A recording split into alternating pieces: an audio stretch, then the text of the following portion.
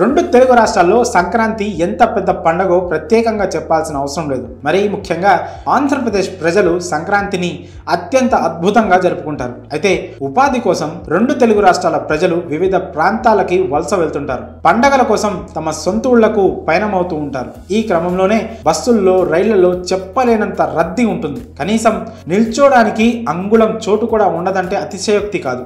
ఈ నేపథ్యంలో సంక్రాంతి పండక్కి సొంత ఊర్లకు వెళ్ళే వారికి శుభవార్త చెప్పింది సౌత్ సెంట్రల్ రైల్వేస్ ప్రయాణికుల రద్దీ దృష్ట్యా పలు మార్గాల్లో ప్రత్యేక రైళ్ళను నడపనుంది. సంక్రాంతి పండగ రద్దీని దృష్టిలో పెట్టుకొని దక్షిణ మధ్య రైల్వే ప్రయాణికులకు శుభవార్త చెప్పింది. ఉపాధి కోసం తెలంగాణ ఏపీ ప్రజలు వివిధ నగరాలకు వలస వెళ్తుంటారు. అలాంటి వారు కేవలం పండగల సందర్భాల్లోనే తమ సొంతూళ్ళకు వెళ్తుంటారు.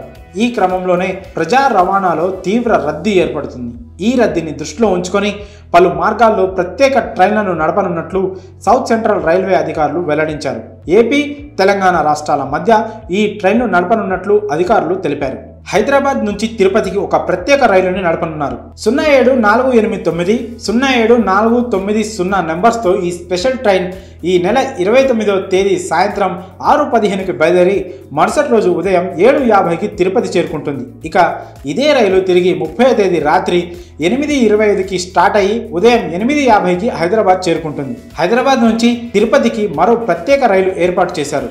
సున్నా ఏడు నాలుగు నాలుగు తొమ్మిది సున్నా ఏడు నాలుగు ఐదు సున్నా నెంబర్స్తో ఈ స్పెషల్ ట్రైన్ ఈ నెల ఇరవై ఏడవ తేదీ సాయంత్రం ఆరు పదికి హైదరాబాద్ నుంచి స్టార్ట్ అయ్యి మరుసటి రోజు ఉదయం ఆరు నలభై ఐదుకి తిరుపతి చేరుకుంటుంది. ఇక ఈ ట్రైన్ తిరిగి తిరుపతి నుంచి ఇరవై ఎనిమిదవ తేదీ సాయంత్రం ఐదు పదిహేనుకి బయలుదేరి తర్వాతి రోజు ఉదయం ఏడు ముప్పైకి హైదరాబాద్ చేరుకుంటుంది. ఇక ఈ రెండు ట్రైన్లతో పాటు మరో స్పెషల్ ట్రైన్ కూడా ప్రయాణికులకు అందుబాటులో ఉండనుంది. హైదరాబాద్ టు కాకినాడ సున్నా ఏడు నాలుగు ఐదు ఒకటి సున్నా ఏడు నాలుగు ఐదు రెండు నెంబర్స్తో ఈ ప్రత్యేక రైలుని నడవనుంది. ఈ నెల ఇరవై తొమ్మిదిన రాత్రి ఎనిమిది ముప్పైకి స్టార్ట్ అయ్యి మరుసటి రోజు ఉదయం ఎనిమిది తొమ్మిది గంటలకు కాకినాడ చేరుకుంటుంది. ఇక ఈ ట్రైన్ తిరిగి ముప్పై తేదీ రాత్రి తొమ్మిది గంటలకు ప్రారంభమయ్యి తర్వాతి రోజు ఉదయం తొమ్మిది గంటలకు హైదరాబాద్ చేరుకుంటుంది. దీంతో ప్రయాణికుల రద్దీని నివారించగలుగుతామని రైల్వే అధికారులు తెలిపారు. అదీకాక ప్రయాణికుల రద్దీ డిమాండ్ను బట్టి ట్రైన్ సర్వీసులను పొడిగిస్తామని కూడా వారు పేర్కొన్నారు.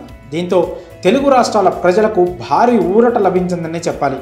మరి దక్షిణ మధ్య రైల్వే సంక్రాంతి పండగ సందర్భంగా ప్రత్యేక ట్రైన్లను వేయడంపై మీ అభిప్రాయాలను కామెంట్స్ రూపంలో తెలియజేయండి.